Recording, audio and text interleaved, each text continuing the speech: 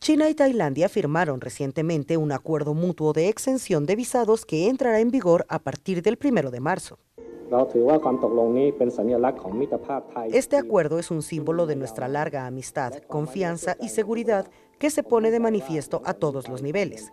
Estoy seguro de que los viajes entre nuestros dos pueblos, ya sean por turismo o por negocios, serán más cómodos y contribuirán a estimular la industria turística de ambos países. Para ese entonces, los portadores chinos de pasaportes oficiales ordinarios y de pasaportes ordinarios y los portadores tailandeses de pasaportes ordinarios tendrán permitido entrar y permanecer en el otro país sin visa por hasta 30 días. Me alegra mucho la noticia porque Tailandia tiene muchas oportunidades. Desde la perspectiva de Tailandia, China y Tailandia son hermanos.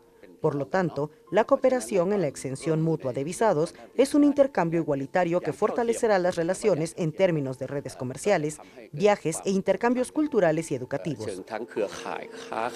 Quienes entran en el otro país por razones de trabajo, estudio, cobertura periodística, residencia y algunas otras actividades que requieran aprobación previa y planeen permanecer en el otro país durante más de 30 días, deben obtener la visa correspondiente antes de ingresar en el otro país.